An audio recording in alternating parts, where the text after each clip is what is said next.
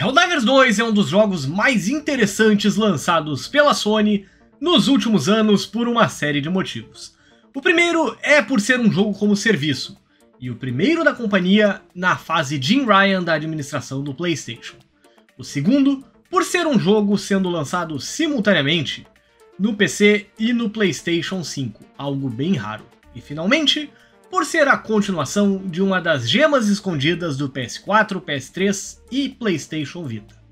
Mas será que esse jogo vale a pena? É o que a gente vai descobrir no vídeo de hoje. Eu sou o Eric do Critical Hits e essa é a nossa análise de Helldivers 2. Não se esqueça de curtir o vídeo, se inscrever no canal e deixar seus comentários também, tá legal? Em Helldivers 2, você controla um soldado espacial que deve fazer parte do esquadrão de Helldivers e combater os Terminídeos e outras ameaças galácticas para proteger a democracia, ou assim dizem as propagandas do programa de Helldivers que você entra e começa a fazer parte. Logo após um rápido tutorial sobre como tentar morrer o mínimo possível em campo, você é colocado numa missão solo e depois numa missão em grupo com outros Helldivers.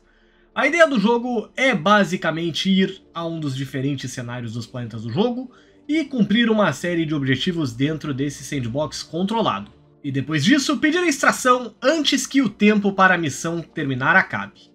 Às vezes, você enfrentando algum chefe e às vezes não. Conforme você vai avançando e cumprindo mais missões, você pode desbloquear novas armas primária e secundária, além de reforços, que são algo como habilidades que você pode levar para o campo de batalha. Como pedir um ataque de artilharia vindo da órbita, uma metralhadora especial para penetrar na couraça dos inimigos, mais munição e assim por diante. Diferente do primeiro Helldivers, que tinha uma perspectiva isométrica, esse é um jogo de tiro em terceira pessoa, e a mudança que parecia não ser lá uma boa ideia, acabou se provando excelente. O gameplay do jogo é simplesmente muito gostoso de se usar, e assim como no primeiro jogo, o fogo amigo está ligado o tempo todo. Então você precisa cuidar não apenas com os adversários, mas também com os tiros vindos dos seus próprios colegas de time. Além de explosões vindas do terreno, naves caindo, coisas caindo por cima e assim por diante. Vale ressaltar aqui que a ideia do jogo é muito legal e que tudo pode dar errado muito rápido dentro do jogo. A quantidade de inimigos que vai surgindo só aumenta, e logo é possível ser completamente tomado pelo número de adversários, sejam eles insetos, androides e outros tipos de inimigos. Então a coordenação é fundamental para a sobrevivência do time de Helldivers. É simplesmente impressionante como Helldivers 2 consegue ser um jogo muito divertido e mesmo jogando com desconhecidos, as partidas são sempre cheias de ação e muito legais de se jogar. O melhor de tudo é que o jogo se presta para partidas curtas, com jogadas que levam de 15 a 20 minutos, ou que você pode encadear uma atrás da outra e ficar horas a fio dentro do jogo. Sempre jogando mais uma partida e indo atrás de mais uma nova arma ou um item do passe de batalha do jogo. Por ser um jogo como serviço, Helldivers 2 possui tanto um passe de batalha grátis quanto um pago, mas eu sinceramente não senti nenhum tipo de mecânica de pay to win dentro do jogo. Na verdade, ele é tão divertido que dá vontade até de comprar o passe de batalha pago para mostrar suporte a Arrowhead, que merece todos os elogios do mundo por conseguir criar um jogo muito divertido de se jogar.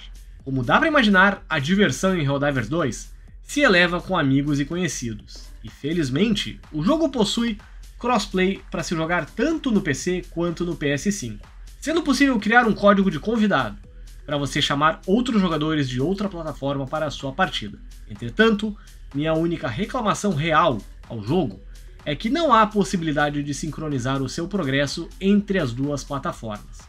Então, se você tem um jogo no PC e no PS5, como é o meu caso, você tem dois Helldivers distintos, infelizmente. Além disso, outra reclamação do jogo é que Helldivers 2 é uma vítima parcial do próprio sucesso. No lançamento, era praticamente impossível de se conseguir partidas.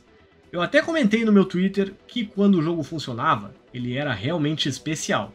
O problema eram os erros de matchmaking entre uma partida e outra e o tempo que levava para você conseguir mais uma partida. Agora, quase uma semana após o seu lançamento, Helldivers 2 felizmente conseguiu resolver a maior parte dos problemas de conexão. Ainda há erros de conexão para entrar em partidas Mas felizmente é possível entrar no jogo com poucas tentativas e em menos de um minuto é possível estar jogando mais uma nova aventura defendendo a democracia pela galáxia. Graficamente, Helldivers 2 é um jogo bonito e funciona contento tanto no PS5 quanto no meu PC, que é um Ryzen 7 5800X, 32GB de RAM DDR4 e uma RTX 2080 Super, além do SSD, obviamente.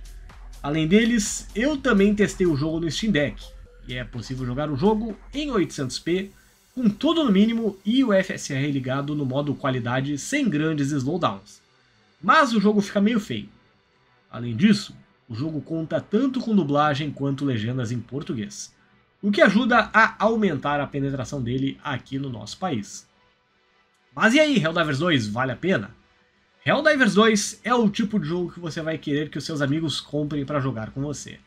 E mesmo sem amigos, é possível ter partidas extremamente divertidas e tensas com desconhecidos. O jogo realmente impressiona já no primeiro minuto. E se todo jogo como serviço da Sony for igual a ele daqui pra frente, os fãs não têm nada a temer dessa nova empreitada da companhia. Muito pelo contrário. Bom, galera, fico por aqui. Espero que vocês tenham gostado da minha análise de Helldivers 2. Eu realmente gostei muito do jogo e se você tá na dúvida se vale a pena comprar ele ou não, compre. Convença seus amigos, compre, jogue com eles e venha me agradecer depois, tá legal? Então é isso aí, eu fico por aqui. Inscreva-se no canal, deixem seus comentários e sigam a gente nas redes sociais. Um abraço para PlayStation Brasil que nos mandou duas chaves do jogo para análise.